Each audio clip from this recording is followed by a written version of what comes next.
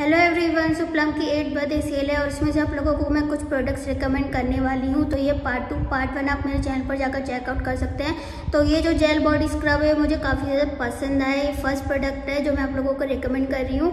तो ये जो जेल बॉडी स्क्रब है, इसका जो वेरियंट मेरे पास है वो ड्राइविंग मी चेरी और ये जेल बॉडी स्क्रब परफेक्ट है ऑल स्किन टाइप के लिए स्पेशली सेंसिटिव स्किन टाइप के लिए, क्योंकि ये बहुत ज़्यादा जेंटल है। इसके अंदर जेल ब्यूट से आपकी स्किन को हार्श नहीं करेंगे। ये अच्छे से लेदर क्रिएट करता है, आपकी स्किन जेंटली क्लेंस करता है, आपकी स्किन को सॉफ्ट और स्मूथ बनाता है तो ये वाला जेल बॉडी स्क्रब आप ज़रूर ट्राई कर सकते हैं अगर आप लोगों को हार्श बॉडी स्क्रब पसंद नहीं है तो। गुडनेस की सेल में से ये उनकी हेलो हेलो जस्ट जेल तो ये जो हेलो हेलो जस्ट जेल है, आप उसको हेयर स्किन और बॉडी पर यूज़ कर सकते हैं।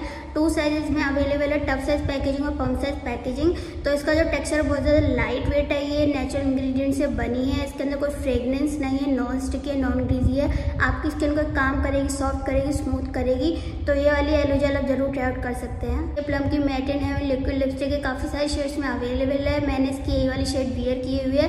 कैरेमेलो ये काफ़ी अच्छी शेड है ब्राउन टोन में। तो ये लिक्विड लिपस्टिक आप ज़रूर ट्राई आउट कर सकते हो। मेरे पास कूपन कोड है टेन परसेंट ऑफ़ का तो आप लोगों को एक्स्ट्रा डिस्काउंट मिल जाएगा। की कलर अफेयर नेल पॉलिश है। इसके अंदर आपको शेड रेंज बहुत अच्छी मिल जाएगी। इसके अंदर आप लोगों को पेस्टल न्यून शेड्स और ब्राइट शेड्स मिल जाएँगे। तो आप ज़रूर चेकआउट कर सकते हैं। प्लम की ऑफिशियल वेबसाइट पर इसके अंदर और भी रेंज है. आई थिंक मेटेलिक और सैंड मेट फिनिश वाले.